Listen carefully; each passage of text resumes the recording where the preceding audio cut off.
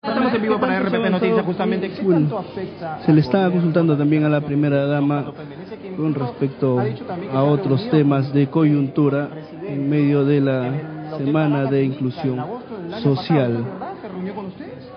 Miren, yo creo que hay que hay que dejar de prestarle importancia a palabras de una persona que está evidentemente eh, distrayendo la atención de lo que es importante para el país. Esto es lo importante para el país. Eh, hay cuestiones eh, mucho más eh, relevantes para el desarrollo de nuestra patria y creo que evidentemente esta persona está tratando de distraernos. No nos dejamos distraer. ¿Quién Todos, está detrás de, de las declaraciones de Oscar López a, a mí la verdad me da pena que, que un que un señor que trata de hacer eh, que, trata de meter ruido a una agenda que debe ser eh, prioritaria para el país, que es el crecimiento económico, que nuestras mujeres puedan lograr eh, una relevancia como la que están logrando el día de hoy, capacitándose, logrando eh, eh, poder tener una inclusión financiera, eh, capacitándose en la inclusión financiera, puedan eh, tener, por ejemplo, eh, gas ahora en sus localidades, eh, sea no tenga importancia eh, en el país y mm, la prensa le, le dé mucho más eh, cabida a declaraciones de una persona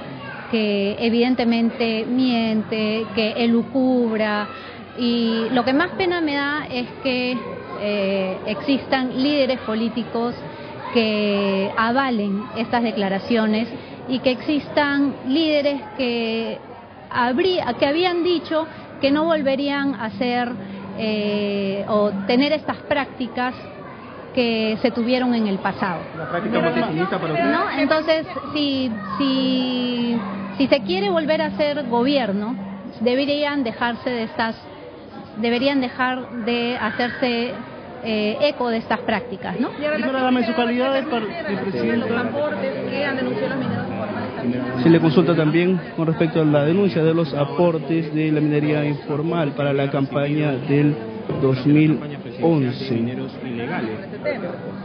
Todo está aclarado en, en los- las instancias correspondientes. En relación a los apoyos de los mineros informales, hay una denuncia todas, fuerte a- todas las, todas la- los aportes a la campaña electoral eh, se han declarado como corresponde conforme a ley.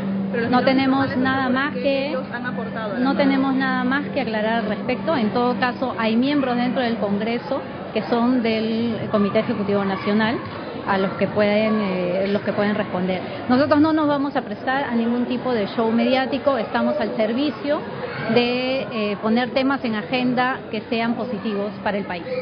¿Y las cuentas de la campaña están claras entonces, eh, señora Nadine Heredia?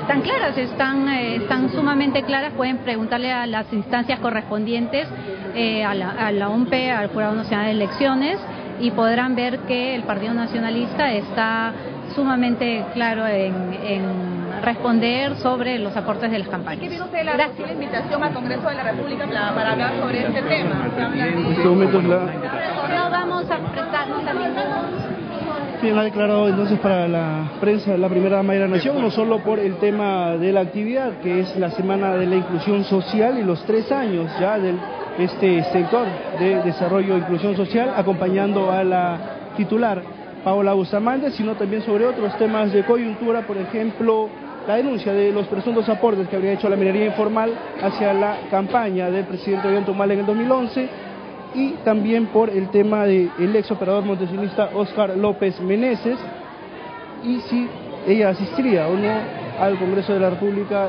en una eventual situación. Nuevamente, Edith, contigo en estudios. Muchas gracias a nuestro compañero Edward Alegría. Se acaba de lanzar la tercera semana de la inclusión social en el distrito de Villa El Salvador. Hasta aquí el avance informati- informativo. Retornamos en cualquier momento. Siga con nuestra programación.